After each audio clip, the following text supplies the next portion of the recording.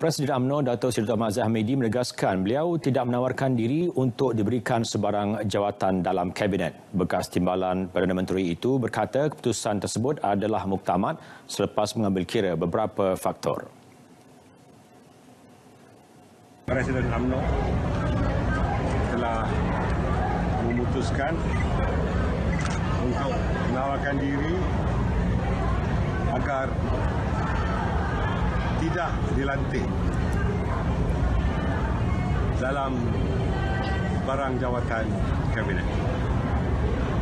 Keputusan saya ini adalah suatu keputusan utama setelah mengambil kira semua faktor yang telah saya sebutkan dalam ucapan saya tadi.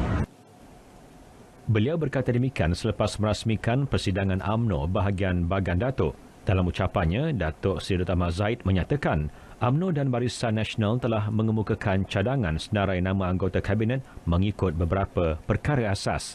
Antara yang diketengahkan adalah muka baru dalam parti, tokoh muda dan profesional serta teknokrat.